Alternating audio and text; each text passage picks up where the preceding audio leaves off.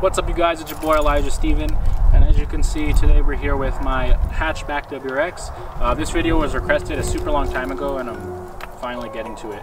But anyways, we're going to be going over what has been done to, excuse me, what has been done to my 2008 Subaru WRX. Um, to start off with, as you can see, this car is wrapped currently. Um, we have uh, two different colors wrapped on it. We have this black gloss um, and then we have the Avery Rushing Riptide satin uh, color. Um, it's super, super nice. It's like blue, like this weird blue, um, emeraldy color, and then it transfers over to like this orangey gold and purple, and uh, depending on the lighting. So that is super cool. But anyways, to start off, we'll give a little brief um, information about the car itself. Um, like I said, it's a 2008 hatchback. Um, a lot of people didn't like this uh, body style um, for the year, but for the hatches, they still look super good. I do like the wide bodies in the 2011 to 14, but they still look super good. The sedans, I'm sorry if you all want, but it's hard to make them look, look good. So we'll pour out a drink for you guys in a moment of silence. Anyways, so as I said, this is my 2008. There's about 120,000 miles on the body itself.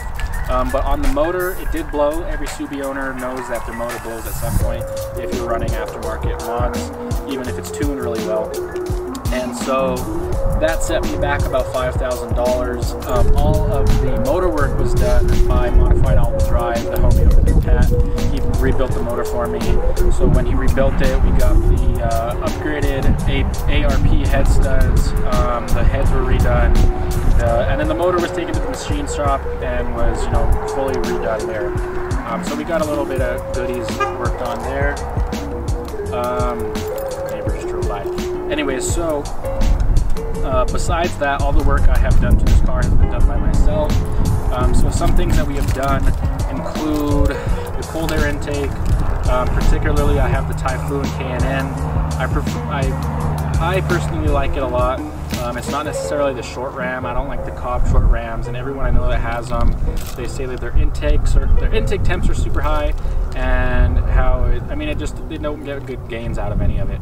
So I have the K&N. Um, it's got a super super huge filter, um, and it actually goes kind of into the wheel well, so that's kind of nice to get some of that cool air that's not as um, restricted by some of the heat from the engine that you'll get on the short ram. Um, the car is tuned by Cam Tuning down in Albuquerque. Um, it's on 18 pounds of boost, kind of conservative because I'm not on flex fuel. That's another thing we'll be doing soon is the flex fuel. So if you want to see that, go ahead and comment down below. Um, when we do go flex fuel, we'll probably be able to run boost up into the 20s um, a lot more efficiently and safely for the motor. So we will go with the flex fuel kit, probably from Cobb.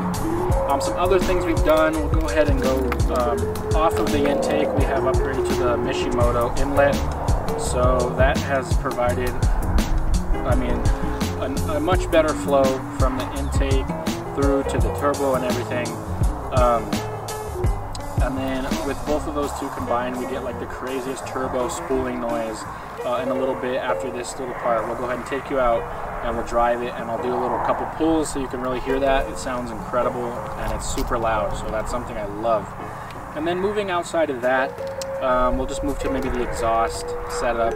I have a Invidia catless downpipe with the divorced wastegate housing. Um, and then behind that, we have the full Invidia N1 exhaust. I think it's like a three and a half inch piping. Um, it's pretty dang loud. I personally love a loud car. I would be totally cool with it if it was louder, but to most people it's pretty dang loud, especially in the mornings and on wide open throttle. So if you are in the market for one, definitely go with the Invidia. Um, you can see a prior installation video um, a little bit further back in my channel. But anyways, so I really do like that um, because it is catless. You'll sometimes get some fumes from oils or gases that are kind of leaking into the exhaust. But I mean, that's the cool part of it. It gives you that race car feeling. Um, moving past that, we'll kind of talk about just some exterior mods. Uh, like I said, we have this wrap that's done. Also check out the wrap on my Instagram. My Instagram is Elijah underscore Steven underscore. You can see a couple more photos. Then we have the enforced Arrow splitter, the Enforced Arrow side skirts. They were actually a sponsor of this car for a little while before. Um, I need to get a new splitter though because as you can see, or maybe you can't, it's like destroyed. Every car owner has been there with their splitter.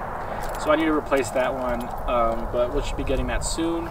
Um, and then as far as wheels go, we have just XXRs, nothing crazy, Toyo tires.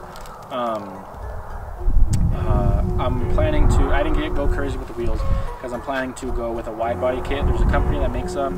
They're super, super cool. It's not just like fender flares. It's a full wide body with wider fender, I mean wider um, like side skirting, everything. It's, it's just a lot better. And when I do go with that, I'm gonna go with the Works Kiwami wheels. So it'll be super cool, super wide, super beefy tire setup will come with that as well. Um, and then in the very back we have a carbon fiber uh, STI wing, super nice, super expensive, but it looks really great. Then we have the Strafe Design diffuser that took like six months to get here. So it looks really good, but I, you're okay waiting for six months. Um, anyways, so uh, besides that, um, on the rear it looks really nice too because that Invidia, we have the burnt tip. I know a lot of people will say, well, some people think it's rice, some people don't. Um, and I guess it all depends because you'll see burnt tips on titanium exhaust, whatever. So it looks super good. It looks super aggressive. And then as far as the interior goes, we just have the regular old seats. Um, the 2008 actually has some really nice sport seats in them. And then we have, um, the previous owner had bought this car with the upgrade, so it has like those heated seats and all that good jazz. Um, and then We've done a little bit of uh, different color change to the interior. The interior, all the trim is painted like this super, super cool, like cherry blossomy pink color. So we'll go ahead and show that as well. We'll go out for a little drive. So that looks super good. It changed up the look. Other than that, the only other big thing to really note about this car is it is an automatic and everyone has this big debate about automatic or manual. I've had the chance to drive many manuals. I mean, the Cayman I drive is a six-speed. My WRX I had was a 2018. It was red. It was a six-speed. Boxster over there, you can't see the other Porsche is a six-speed. So like, I love to drive both. I've also drove driven like 600 LTs and stuff like that. So I have respect for both automatic and manual. So I really don't. Uh, I'm not really bothered by people that are like, oh, manual or nothing A lot of those people have never experienced both. Obviously manual is a lot of fun, but you get a different feeling out of each. And if I want to get the feeling of driving manual, I'll just drive and get in the Porsche and drive that. So um, that actually is super cool actually because unlike uh, being in the manual car, you won't really lose that boost when you get up to shifting the gears. It does have like the sport mode or whatever. So that is a super cool feeling because you're like sucked in your seat and you stay sucked in your seat and it's, it's super cool. Um, but other than that, I probably missed a few different things. I know I missed some mods as far as that goes in the engine department. But um, that is about it. Like I said, we're going to be going with wide body, work Kiwami wheels. If you want to see that, drop a comment down below and leave a like on this video. And go and hit the subscribe button for me without further ado, I think we need to get in the car and actually go and drive it so you can hear it and then show you some of the interior. So let's do this.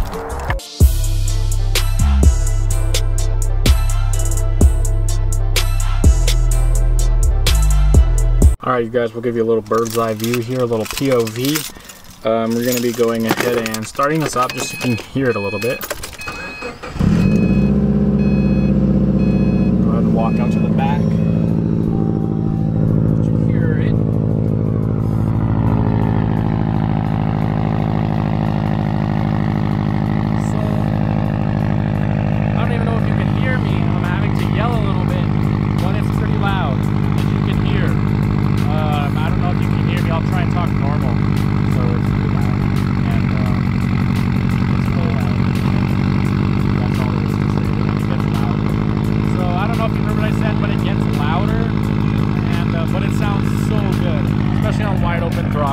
Let's go ahead and uh, head out for a quick cruise and um, show you guys that turbo noise I was telling you about. Let's go. I'm not going to do a really another pull, but I just want to let you guys hear the turbo.